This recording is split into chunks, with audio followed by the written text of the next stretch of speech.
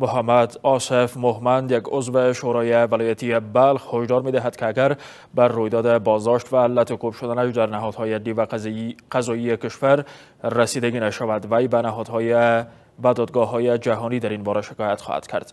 آصف محمد ادعا دارد که او پس از بازداشت شدنش از سوی تفنگداران والی بلخ در خانه والی بلخ از سوی والی و پسرانش سخت لطو شده. حکومت و دفتر والی بلخ از ابراز دیدگاه درباره این رویداد تا پایان بررسی های حقیقت حقیقتیاب در این باره خودداری می کنند گلابودین غبار گزارش می دهد.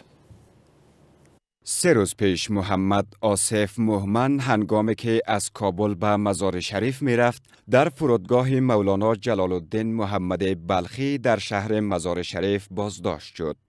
آصف مهمن می گوید که او از سوی تفنگداران غیر مسئول و وفادار به والی بلخ بازداشت شد. تلفن را کودش بگو پاسپورتاش بگو. راستی من کودش نگفتم. کودش نمی‌گفتم. زده نکرد.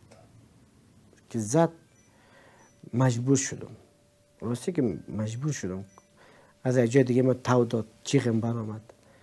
با خوشبختانه که چیغ زدن مرا یاست امیت میری میشونیده آصف مهمن از رئیس جمهور می‌خواهد که این رویداد را به گونه جدی بررسی کند وگرنه به دادگاه های جهانی شکایت خواهد کرد.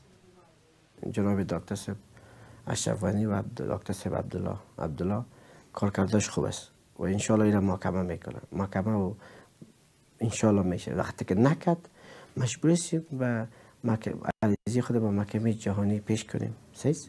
از سفیرهای خارجه می‌خواهیم حکومت و دفتری والی بلخ تا پایانی بررسی های حقیقت حقیقتیاب در این باره چیزی نمی‌گویند.